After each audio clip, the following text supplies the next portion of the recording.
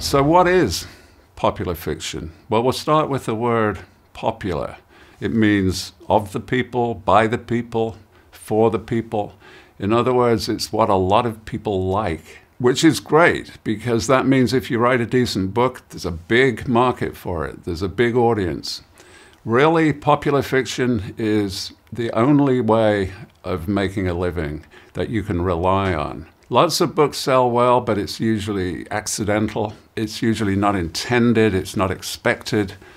But popular fiction is expected. You are, you are writing for a huge audience of readers who are really just like you. If you've been a reader, you're one of them already. And so you're really writing for yourself, and people like you, and there's a lot of them. So this is probably the only genre that you can rely on to earn a crust.